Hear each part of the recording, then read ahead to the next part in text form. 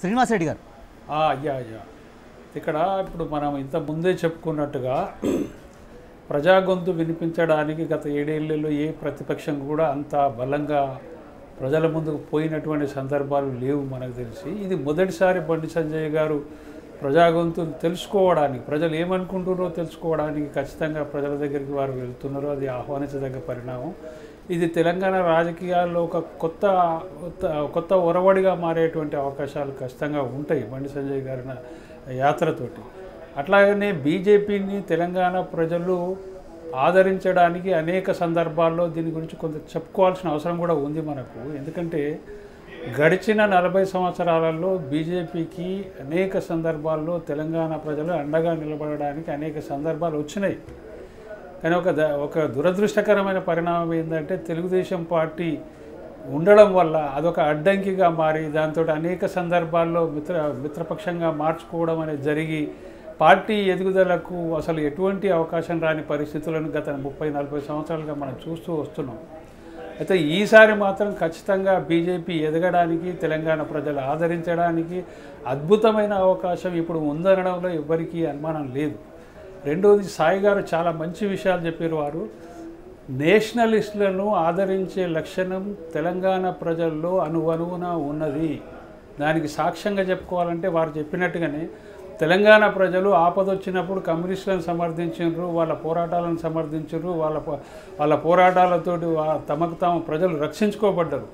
చివరికి వస్తే అదే ప్రజలు ఏం చెప్పినారంటే మేము భారతదేశంలో విలీనం అవుతామని చెప్పారు కానీ కమ్యూనిస్టు రాజ్యం అక్కర్లేదని చెప్పారు అదే ధీరగుణం తెలంగాణ ప్రజలదని చెప్తున్నా.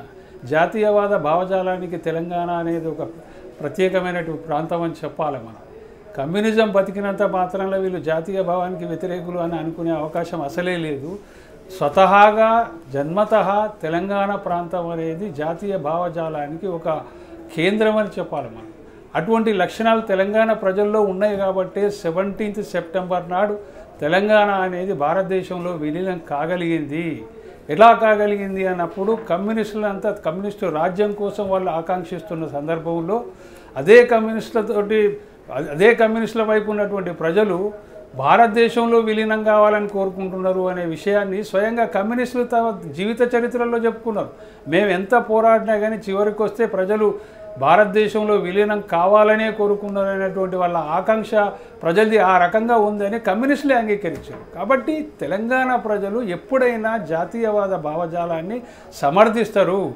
అటువంటి సమర్థించే అవ ఒక్క నిమిషం మన రైట్ రైట్ మాట్లాడండి sir one minute one minute. Okay. అటువంటి అటువంటి సందర్భము అవకాశం తెలంగాణ ప్రజలకు గత నలభై ఏళ్ళుగా ఎప్పుడు రాలే.